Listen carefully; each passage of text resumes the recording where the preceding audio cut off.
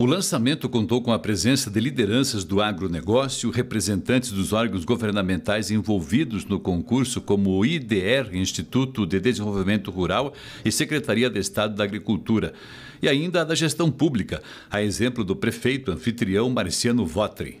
Produzimos anualmente 25 milhões de litros de leite, então isso também é importante é, a nível de região, mas principalmente a nível de municípios também, porque toda a base é, econômica dos municípios menores da região sudoeste são muito parecidas. E quando nós produzimos informações consistentes, nós podemos irradiar para toda uma região, produzindo uma melhoria no ganho do sistema produtivo como um todo. Este ano, o concurso, que era entre os 15 municípios da Regional de Pato Branco, foi ampliado para as demais regionais do Sudoeste, Francisco Beltrão e dois vizinhos. Produtores dos 42 municípios podem participar produtor que ele quiser se inscrever, ele pode entrar em contato com os escritórios de DR. Nós vamos estar indo lá coletando material, medindo vários índices, vários tópicos, várias variáveis a nível de silo, como compactação.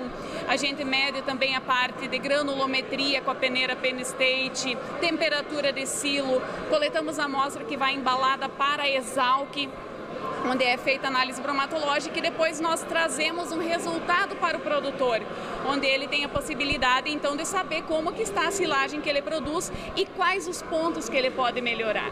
As experiências anteriores já provam que o objetivo do concurso está sendo alcançado. O principal objetivo é que o produtor melhore a qualidade da sua silagem.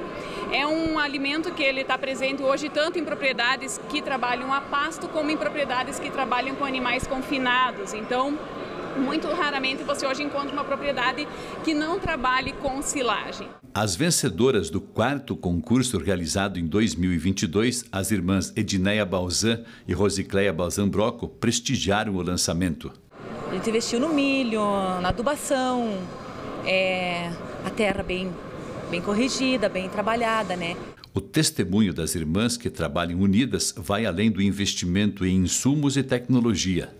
Muito amor e carinho, dedicação e sempre seguir certinho, que acertemos, né, na época de colher, para fazer a silagem e tudo.